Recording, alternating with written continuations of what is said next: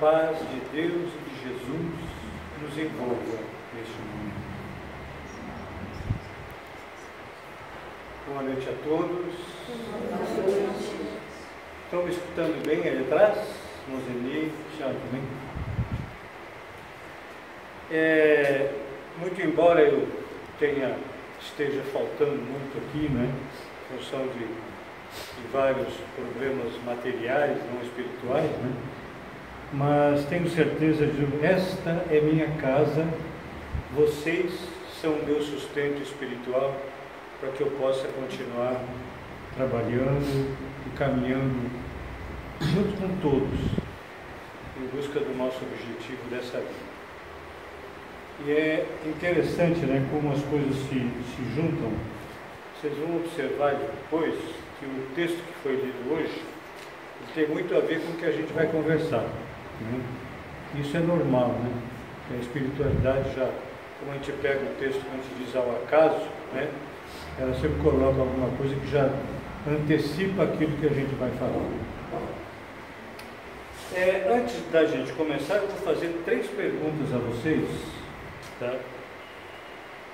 É, alguém aqui tem problemas de convivência com as pessoas que o cercam? Não precisam responder. Tem? Não precisa responder, só pensar. Vocês acham que a convivência é necessária para o nosso aprendizado, visando a nossa evolução? Todo mundo calado. Sim ou não? Sim. Também com esse calor não dá vontade de falar, né? Melhor fazer assim, só que dá um ventinho mais na cabeça, né? É... Então sim, não é isso? Realmente é necessário. É, né? A outra vocês pensam em casa. É, como estão aproveitar um pouco mais para aproveitar este assunto da convivência para que nós possamos utilizar da melhor maneira possível a oportunidade dessa encarnação junto àqueles que a divina providência colocou do nosso lado? Vamos hoje juntos. Muito bom. O dicionário diz que é, conviver é viver em comum, viver em família, relacionar-se, conviver com os amigos. Convivência é a ação de conviver em companhia de outro ou de outros. E no sentido amplo e ideal, trata-se da coexistência pacífica de grupos humanos num mesmo espaço. Isso é que diz o dicionário.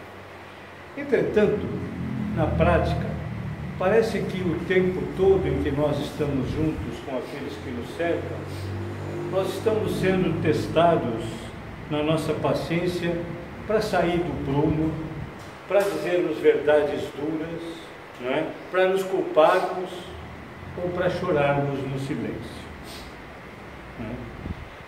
É inegável que manter relações humanas fraternas jamais será uma tarefa fácil. Por quê? Porque as pessoas são todas iguais, não é? É? Não, não. Porque as pessoas são todas diferentes, não é? É com outras necessidades, outros valores, outras crenças, outros sentimentos, não é? outros sonhos, outras manias, não é isso? Que dependem de quê?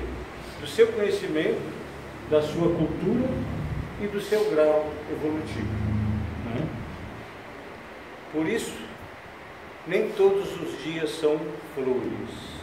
E há dias em que o fardo da vida torna difícil a convivência de forma harmoniosa.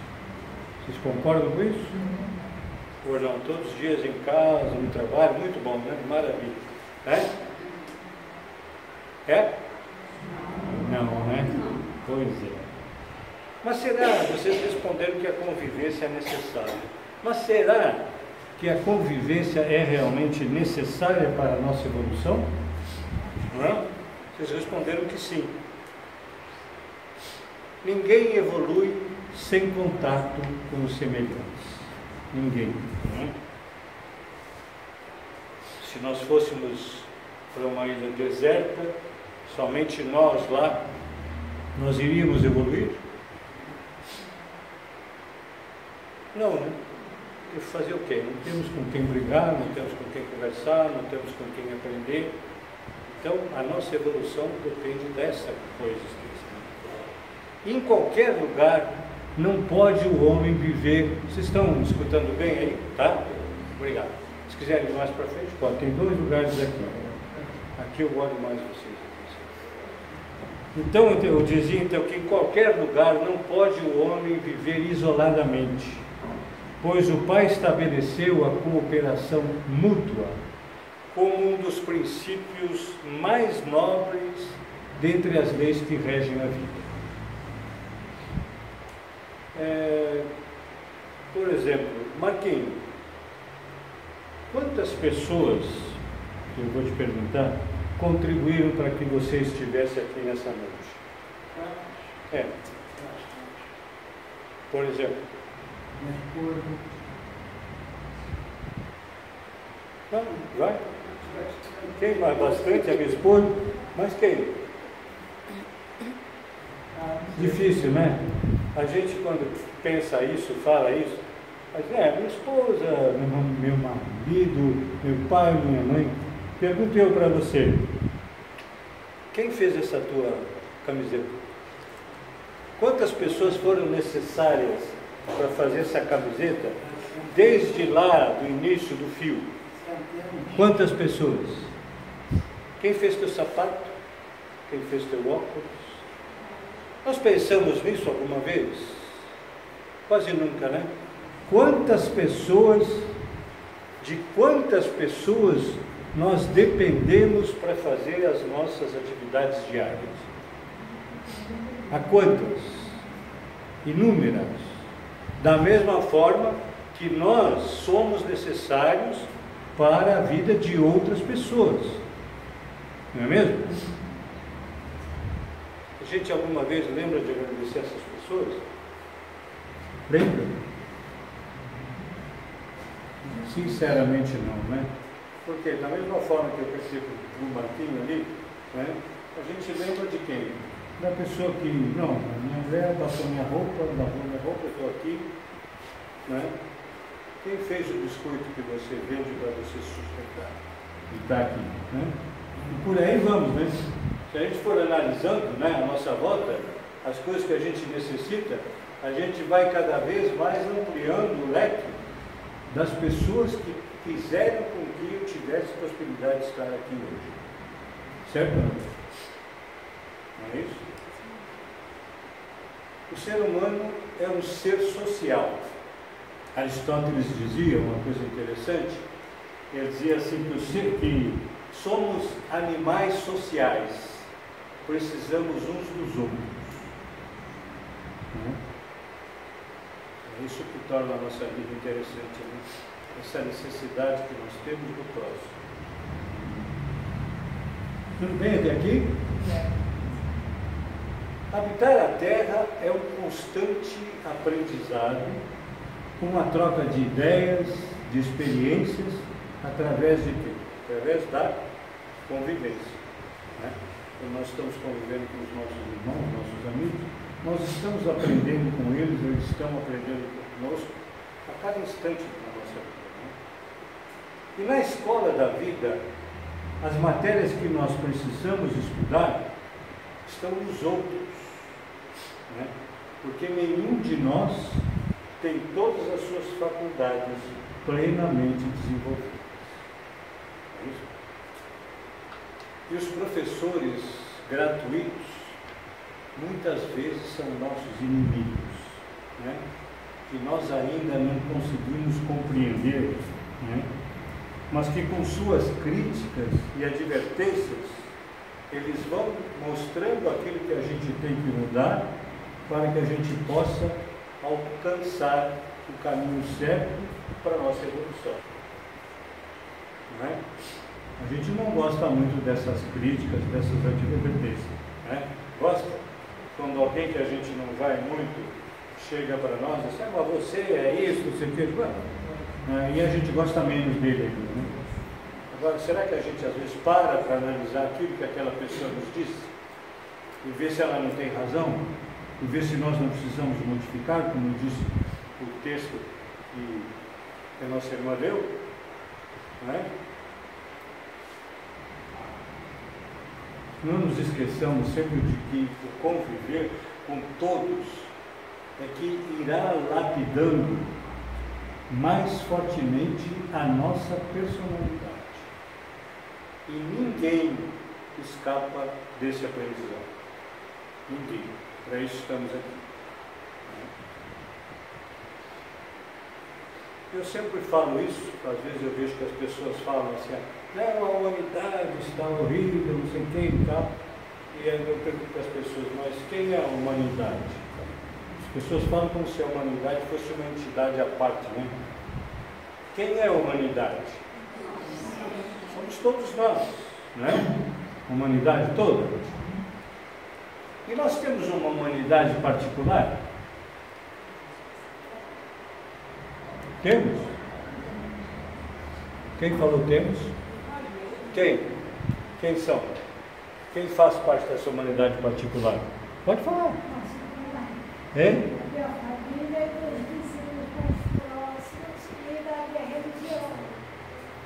Nossa família, nossos amigos, nossos inimigos, né? aqueles do trabalho, os nossos colegas de trabalho, né?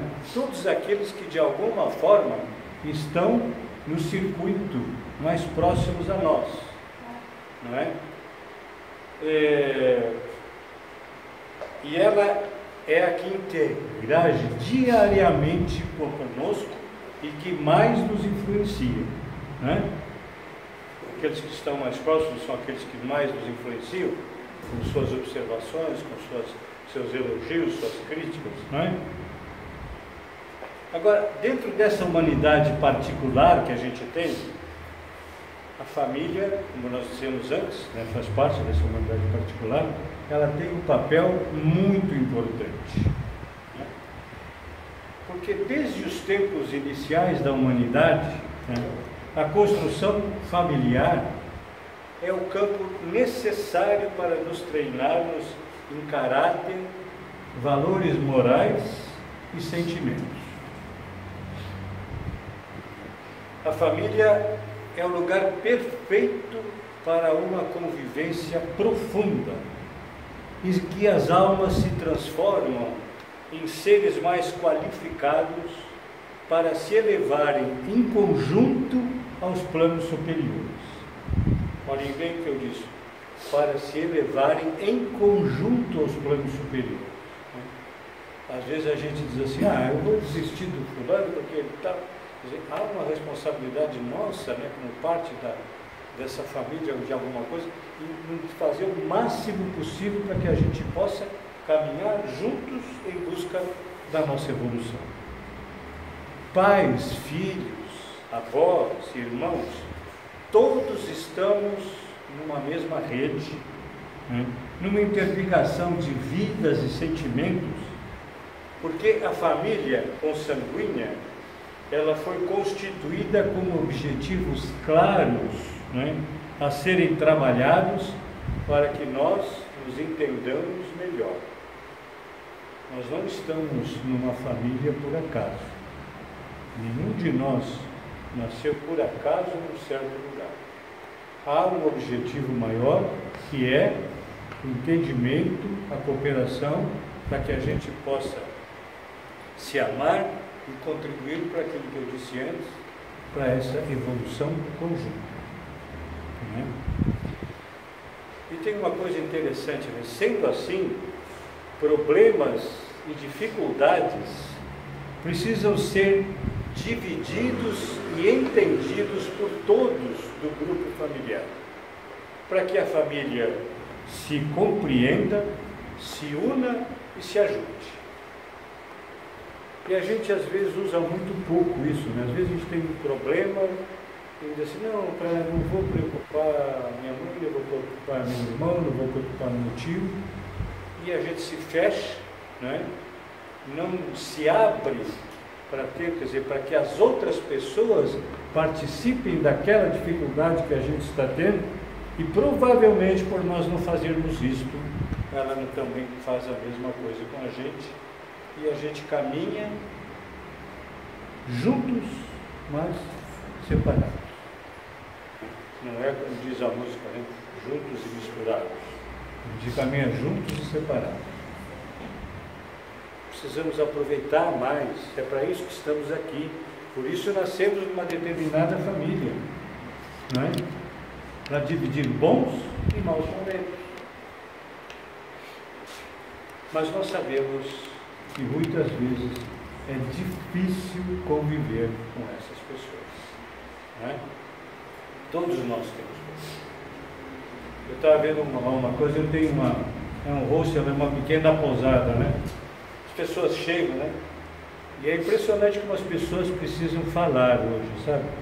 Então, está tão difícil as pessoas se abrirem, né, que quando a gente cria uma situação de, das pessoas poderem conversar, né, então a gente conversa com uma variedade muito grande de pessoas, de níveis diferentes, de culturas diferentes, de países diferentes, e a gente sente que cada um tem um problema no seu calcanhar né? mais fraco, mais difícil, mas todos nós temos. E às vezes, quando a gente faz isso, a gente vê que os nossos problemas são tão pequenos, né? E a gente ficar reclamando. Por isso que é bom a gente ter esse tipo de conversa sempre, né? Falamos do nosso, da nossa humanidade particular, dentro dessa humanidade particular, falamos da família, e as ligações fora de casa, composta pelos nossos amigos, pelos nossos inimigos, pelos nossos colegas, também são muito importantes e precisam ser trabalhadas. Você não está sentindo bem? Quer uma aguinha? Não, imagina, só não atrapalha, atrapalha não, né? Não, não atrapalha, isso vai dar. Só um pouquinho. Faça favor. Já vem uma aguinha, pessoal.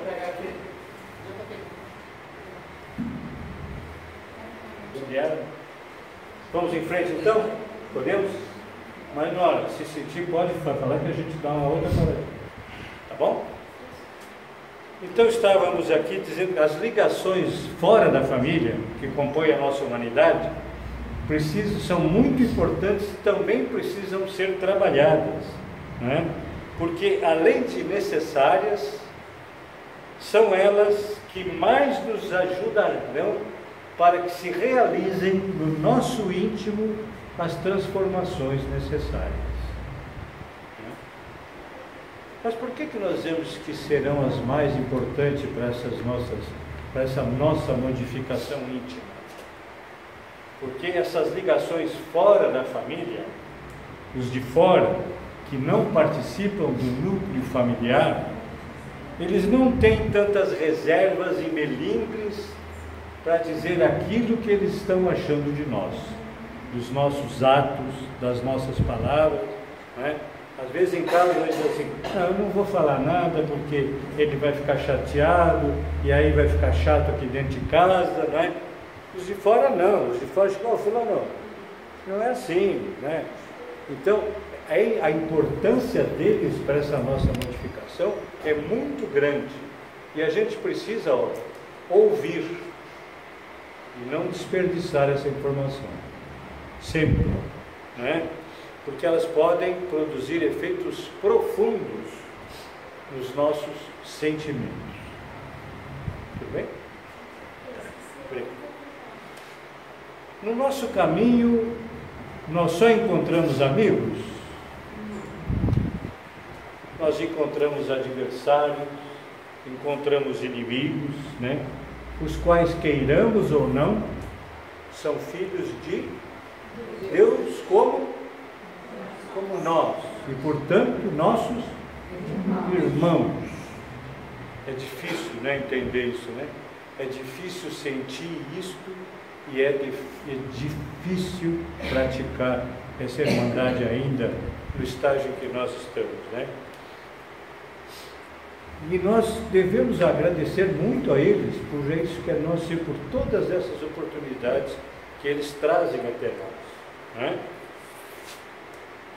Tem os autores que, diz, que dizem que o amigo é uma bênção e o inimigo um auxílio que precisamos aproveitar.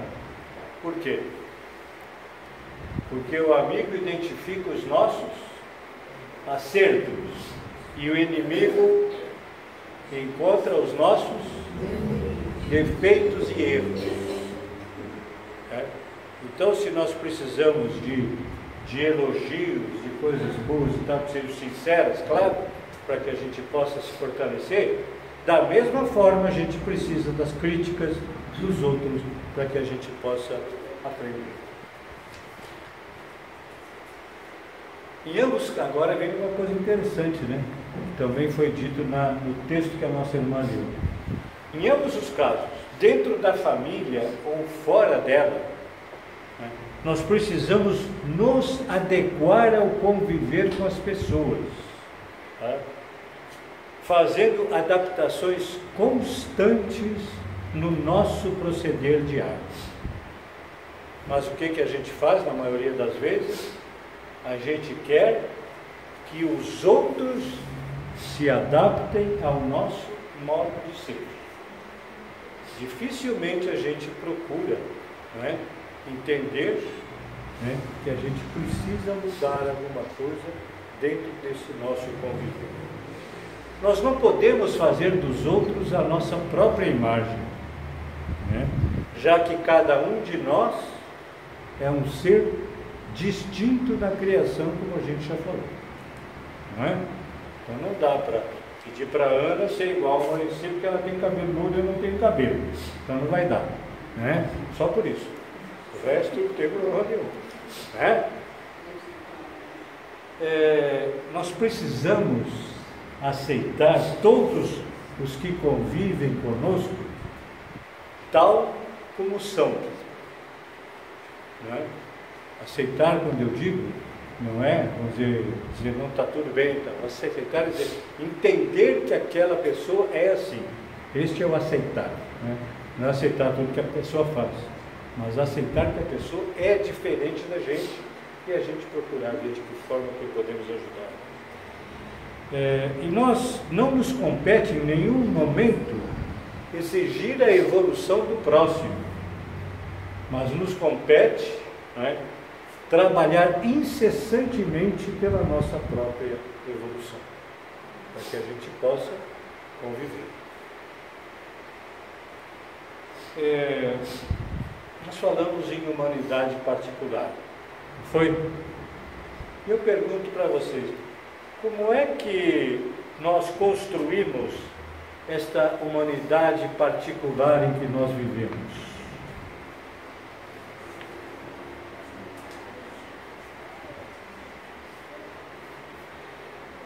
Todos nós que vivemos nessa humanidade particular somos seres de existências passadas ou não? Ou tem alguém aqui que está encarnando pela primeira vez? Ou pela última, quem sabe?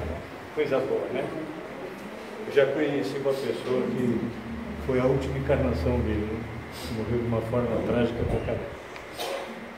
Mas todos nós somos seres de vivências passadas né? unidos em nossos dramas e problemas. Quer dizer, a gente normalmente vem reencarnando num grupo familiar através dos séculos, né? se ajudando né? E caminhando juntos para a nossa evolução. Né?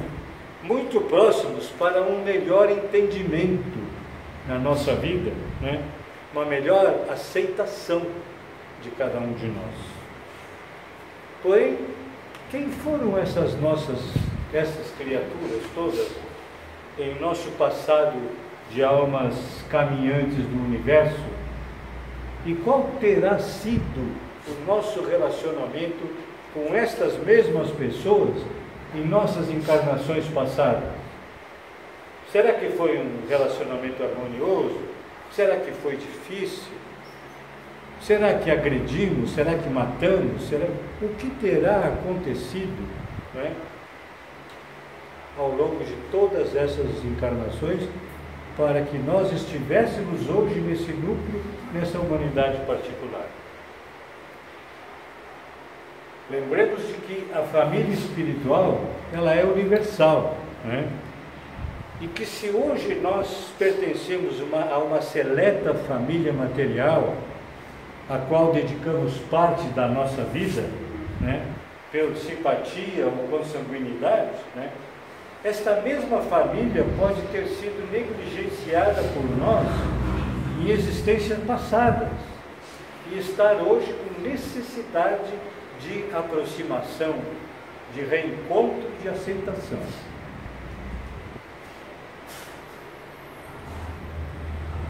E se no plano espiritual, antes dessa encarnação, nós tivemos o merecimento de auxiliar na programação desta nossa encarnação, com certeza lá nós levamos em consideração tudo aquilo que nós não fizemos para esse grupo familiar que nós estamos hoje.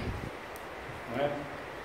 Quisemos nascer neste grupo, quisemos nascer na, na, na condição que nascemos, né? por quê? Para que a gente possa é, reverter as situações passadas e caminhar daqui para um novo momento da nossa vida espiritual.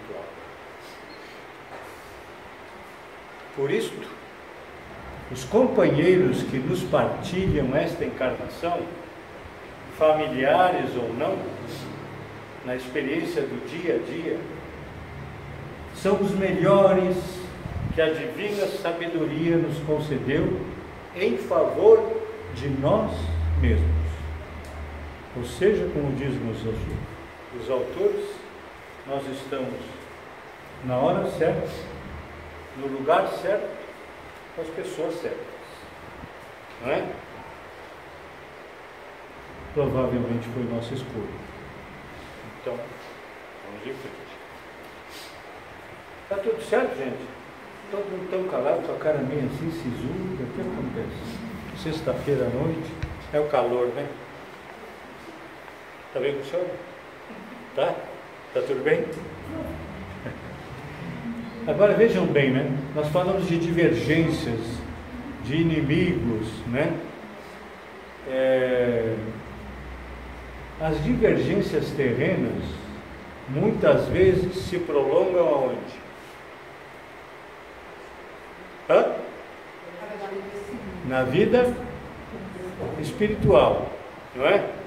Não é isso? Por isso, as divergências nesta nossa encarnação, elas devem ser resolvidas onde? Agora, aqui, para que a gente não carregue na nossa bagagem coisas tão negativas é?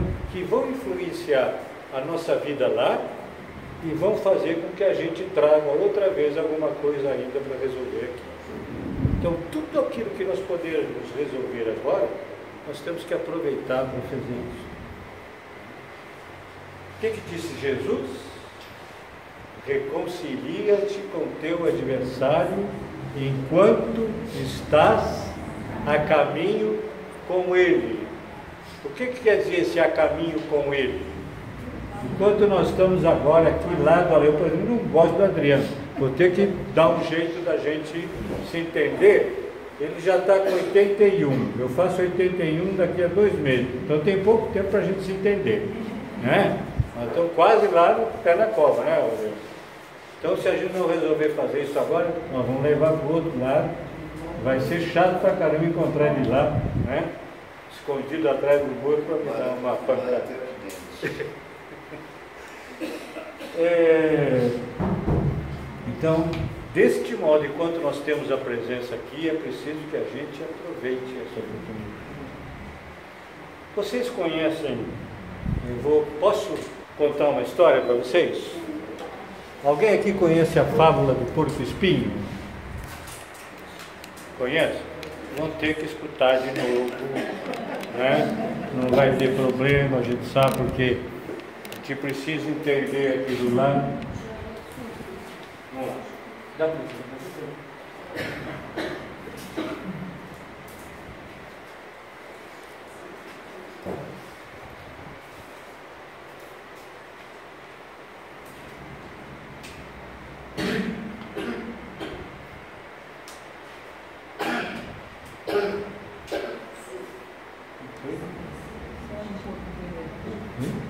um pouquinho para ele carregar. Um pouquinho só, né? Vamos. Tecnologia, tecnologia. Não é tão rápido quanto a gente espera às vezes, né? É. Eu já vou contar para vocês enquanto aparece ali. Eu teve uma. Antigamente usavam um negócio que era retroprojetor. A gente colocava umas folhas lá e uma vez eu fui dar uma palestra lá em Barra do Piraí, mas não era espírito, era uma palestra de de serviço e estava tudo programado naquelas folhinhas bonitinhas para passar. Na hora que eu fui começar a fazer a palestra, faltou luz. Aí já viram o que aconteceu, né? Tem que ser no tapa mesmo. Ele está com calor, ele está um pouco resistente. Bom, eu vou fazer uma coisa, eu vou contando depois, se chegar a imagem, a gente vê de novo, tá? Combinado? Tá. Então, diz assim: durante a era glacial, muitos animais morriam por causa do frio, do frio. Não resistiam ao frio intenso e morriam indefesos, por não se adaptarem às condições. Os porcos espinhos também viviam nesta época, percebendo a situação, resolveram se juntar em grupos. Imaginaram que legal? Né? Mas porque, na realidade, quando eles se juntavam, ficavam achando que o outro estava ficando e ficava bravo e espetava mais ainda, né? Já entrou? Vai? Tá, pode ir. Bonitinho, né? Confortável, né?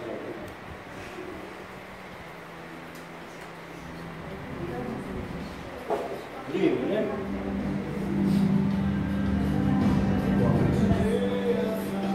Durante a era glacial, muitos animais morriam por causa do frio. Parece Petrópolis, né? Friozinho, né? Os porcos espinhos, percebendo a situação, resolveram se juntar em grupos, assim se agasalharam.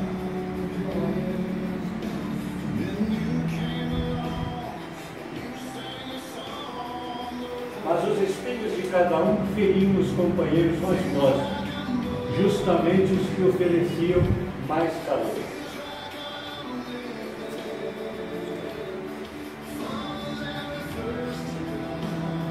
Por isso decidiram se afastar uns dos outros e alguns morreram congelados.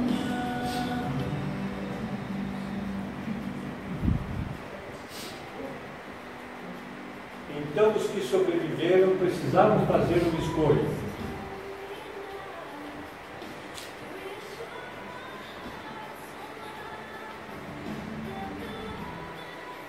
Ou aceitavam os espinhos dos companheiros, ou desapareceriam da terra.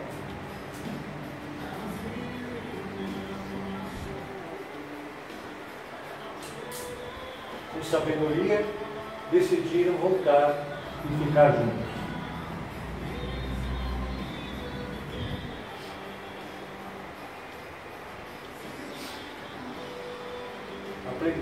Assim a conviver com as pequenas feridas que a relação muito próxima poderia causar.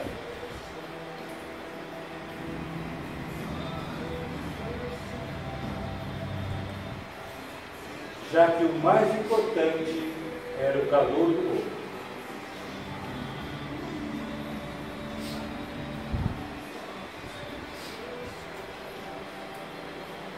E assim sobreviveram ao intenso frio.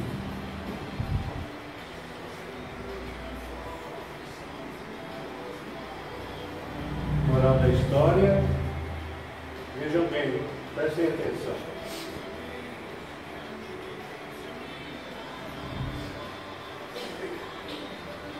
O melhor relacionamento não é aquele que une pessoas perfeitas, mas aquele no qual cada um aprende a conviver defeitos do outro e consegue admirar suas qualidades.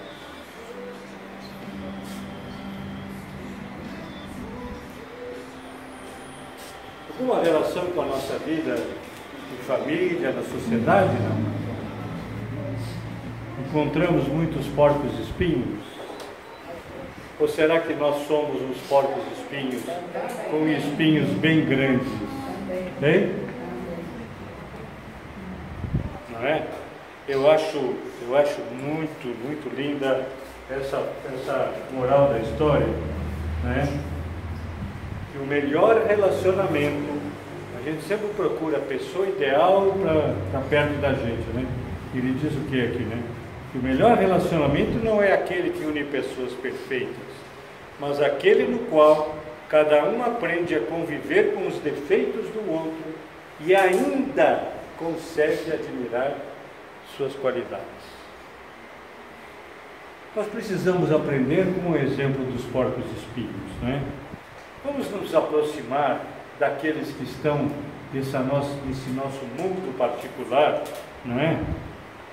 é?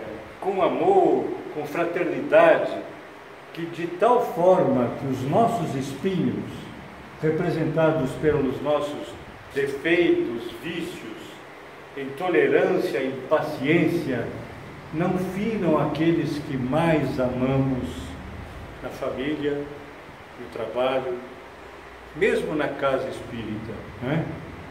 porque precisamos desse calor, precisamos dessa proximidade para que possamos evoluir. O mundo é o nosso lar, dado pelo Pai, e Ele espera que ele seja preenchido, pelo menos em parte, né, pelo sentimento que Ele empregou quando o construiu para seus filhos, com um amor pleno e incondicional. Ainda bem que diz aqui em parte, né? porque amor pleno e incondicional a gente não vai ter, né? muito longe disso. Né? Jesus ensinou e vivenciou os seus ensinamentos e nos mostrou o caminho a seguir. As, as mensagens cristãs nos mostram o quanto Deus e Jesus esperam que nos unamos em propostas reais de amor e fraternidade. Os mentores espirituais ensinam que conviver em família é uma das ferramentas mais importantes para a nossa evolução. Por isso, enquanto nós não soubermos conviver fraternalmente com os nossos irmãos, teremos que percorrer as estradas das dores, dos sofrimentos, da renúncia e da aceitação. Tem um pensador francês chamado Jean Bacillon que disse certa vez: a porta entre o nós e o céu não poderá abrir-se enquanto esteja fechada a porta entre nós e o próximo. Uma frasezinha curta, né? Mas muito significativa, né? Mas será que nós estamos vivendo como irmãos, como amigos eternos, como ensinou Jesus? Será? Estamos vivendo assim? A realidade nos mostra outro cenário, né? Nós estamos perdendo a habilidade de conversar e de conhecer o nosso próximo. Né?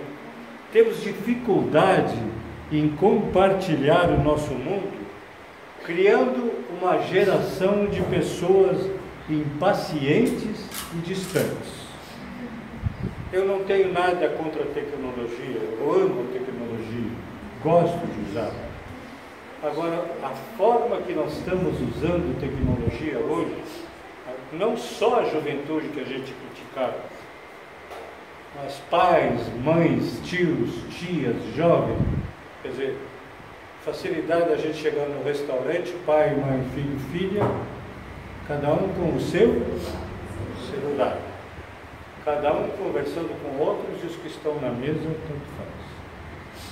Conversando com uma amiga minha que é psicóloga, um grupo de psicólogos de Petrópolis está se unindo porque quantidade de jovens em processo de chegar ao suicídio está cada dia mais intensa. Os jovens não têm em casa mais com quem falar. Né? Porque chega em casa todo mundo está ocupado no computador, ou no celular, ou na televisão, e não há como criar um diálogo com ninguém. Precisamos repensar isso, né? né? Ouvimos as pessoas, mas não escutamos. Falamos, mas não nos deixamos conhecer.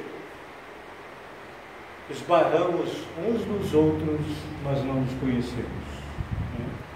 Assim, uma multidão de solitários caminha em direção a lugar nenhum.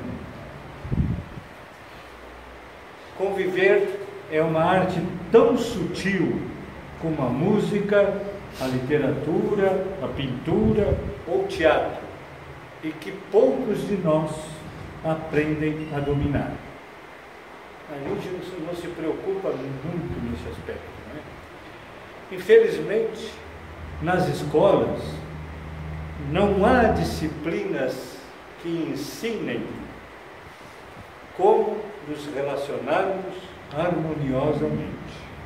Alguém já, já ouviu falar em alguma disciplina nesse sentido? Não, né? Todos nós somos carentes de amor, de amizade, de compreensão e de paz. E que nós já dissemos que não fomos criados para viver isoladamente, vamos estar sempre na presença de irmãos nossos, nos quais nós vamos buscar esses sentimentos que precisamos. Precisamos dar esses sentimentos, mas precisamos também receber. Né? Precisamos aprender a conviver com todas as criaturas, amigos ou inimigos. Por quê? Porque nós vamos trocar de papéis com eles ao longo das nossas próximas encarnações. Não é? Então, se nós não tivermos um bom conviver hoje como filhos, filho com pai, talvez na próxima né, o pai vem o filho e vai trazer no seu íntimo o quê? Uma relação boa ou uma relação ruim? Uma relação ruim, né? Nós vamos trocar de papéis, sem dúvida nenhuma, não é? E sempre que nós perdemos a humildade de respeitar os pontos de vista dos nossos irmãos, transformamos as relações humanas, os casamentos e os negócios em verdadeiras batalhas, nas quais o outro passa a ser o inimigo. Não é isso que está acontecendo com os relacionamentos conjugais todos? Não é? Começam daí a pouco a um distrato total. Não é? E nós continuamos caminhando assim. Nós precisamos buscar ser irmãos, amigos, criaturas que sabem respeitar o próximo, vendo a parte divina que existe em cada ser e procurando trazer à tona tudo aquilo que de bom existe dentro dele. Como eu disse ali na, na conclusão da fábula do porco espinho, né? Quer dizer, conviver com as pessoas, né? com as suas, mas também saber das coisas boas que ele tem.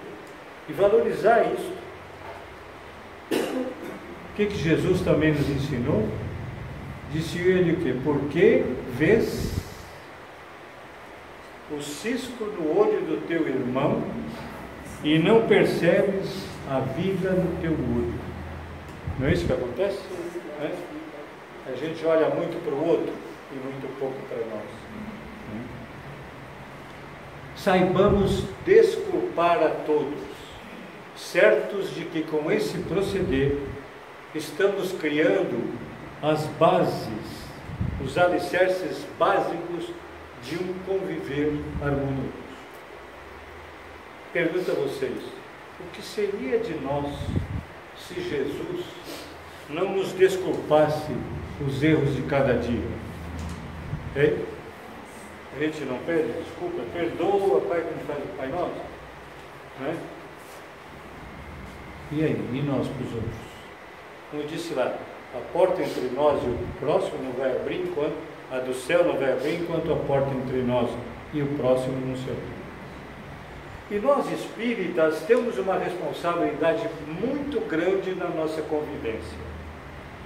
Nós temos a, a responsabilidade de demonstrar os ensinamentos de Jesus aos nossos irmãos de caminhada através de quê? De nossas ações, de nossos exemplos, de nossas vivências. Agora,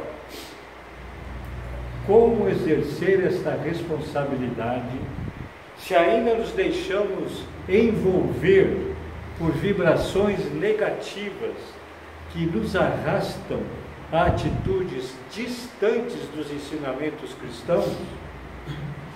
Como conseguir superar a nós mesmos, ajudando o próximo, se ainda fugimos de pequenas obrigações no seio familiar? Como se assistimos a tanta corrupção, a tanta maldade, sem que façamos qualquer coisa para modificar essa situação? Como? Procurando entender que o outro é um ser diferente de nós. Entendendo que cada relação que nós estabelecermos com o próximo é uma oportunidade única de aprendizado que a vida nos dá. Qualquer pessoa que nós passemos a conhecer num certo instante, com certeza com aquela pessoa nós vamos aprender alguma coisa. Né? Até aprender a conviver com uma pessoa que não seja boa. Não é? Aprender a respeitar, aprender a aceitar, aprender a desculpar. É sempre um aprendizado, não é isso? Aprendendo a ouvir eu não estou falando em escutar. Porque escutar, quando a gente não escuta bem, a gente bota um aparelhinho. Agora, ouvir não vai, não tem aparelhinho para melhorar, tem? Não tem. Nós precisamos ouvir as pessoas. Né? Nós não ouvimos mais as pessoas. Já aconteceu com vocês? Vocês não precisam levantar a mão, não, tá? De passar na rua e alguma pessoa conhecida passar, você, pô, fulano, pô, precisava te falar um negócio aqui, tá, e aí, tá, tá, olha, faz uma coisa, depois que me passa um zap, que eu estou apressado agora. Se já aconteceu, ninguém precisa levantar a mão. Pode ser que o zap não vá ser passado, porque não adianta mais. O que tinha que acontecer, já aconteceu. Pois se a pessoa está precisando falar, se a pessoa está precisando desabafar, é agora, não é depois. Então a gente não ouve. E outra coisa é a gente está, a pessoa está falando, e eu estou pensando, puxa, chegou o hóspede lá em casa agora, e tu está falando comigo, né? Chegou, o que, que, será que a minha mulher está passando por lá? Estou falando e eu estou aqui. Eu estou te escutando? Eu estou te ouvindo? Claro que não. Eu não, tô, eu não estou apreendendo aquilo que você quer me transmitir. Eu tenho que olhar nos teus olhos, eu tenho que passar para você a certeza de que eu estou te ouvindo. Sinceramente, quando a gente fala com alguém que não está nos ouvindo, a gente não percebe? Sim ou não? Sim. E vocês acham que os outros não percebem a mesma coisa? Que a gente não está ouvindo eles? Então vamos deixar de fazer isso, né? Ou a gente não ouve, né, direto, ou então para, escuta, vê o que, é preciso fazer. Mas esta aqui é difícil. Viu? Amar sem ser amado. Né? Difícil pra caramba, né? A gente sempre quer o quê? Que a outra pessoa nos ame. Né? Nós somos o máximo. Ela precisa do nosso amor. Né? Agora eu vou amar uma pessoa que. Esse amar não é aquele amar de dar beijinho, de dar beijoca, não é bem nesse amar. Né? É aquele caso de, pelo menos, não desejar o mal para aquela pessoa. Né? E fazer todo o bem que a gente tem a possibilidade para ela. E sabendo ultrapassar os nossos próprios limites e invadindo o limite dos semelhantes, para abraçá-lo em nossos braços, dizendo a ele que ele é meu irmão, que nós estamos no mesmo caminho, e dando a ele forças para seguir conosco na jornada evolutiva. Não existem fórmulas mágicas para a gente conviver que não sejam a boa vontade, a compreensão e o respeito.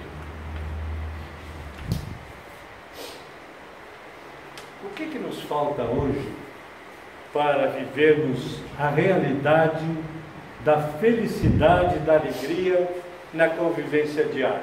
O que, que falta? Na palavrinha pequenininha desse tamanho aqui. Amor. Isto, isto. Amor. Amor. Né? A falta de amor de uns para com os outros. Né? E Jesus nos apontou tão claramente o caminho com suas palavras, com seus ensinamentos, com sua vivência, né? E resumidamente nos diz que para que possamos exercitar a convivência que o Pai espera de nós, o que, que é preciso? O que, que é preciso que Jesus disse? Amar o próximo como é que é? Não escutei. Vamos lá. Amar o próximo como a nós mesmos. Todo mundo sabe isso? Já conhecia essa passagem? Já? Por que não exercita? Né? Por quê? E os passos? para alcançar essa convivência são dados de forma lenta para que a gente possa absorver, absorver os ensinamentos do dia a dia, absorver, entender, né? É, para que a gente possa utilizá-los da melhor maneira possível. Meus irmãos, é, por tudo que foi dito até aqui, Vamos aproveitar ao máximo a oportunidade que esta encarnação nos concede, né? visando a nossa evolução espiritual. Vamos investir na bondade e na compreensão. Vamos aprender a ceder para os outros. Também é difícil, né? Mas vamos ceder para os outros quando a coisa estiver. Cede um pouco, para um pouco Vamos descer dos nossos pedestais, não é? se desejamos realmente ajudar. Porque muitas vezes a gente vai ajudar, mas com aquela postura assim de olha, eu estou te ajudando. Eu não desço do meu pedestal, eu estou acima de você. Né? A maioria dos educadores diz que quando a gente vai falar com uma criança, e que a gente quer que a criança entenda e aceite, a gente tem que baixar e ficar na altura da criança olhando nos olhos dela. Da mesma forma isso. Né? Vamos descer desse nosso pedestal que, que, não, que é ilusório, para que nós possamos abraçar o nosso irmão né? Sigamos em frente com a certeza de que o mundo ao nosso redor espera que nós vibremos paz, fraternidade, amor, criando um ambiente mais puro, envolvendo as, todas as almas que nos cercam e que fazem parte das nossas vidas. E que assim, juntos, todos, caminhemos unidos em direção ao universo do Pai Criador. Que a paz de Deus e de Jesus continue com todos nós.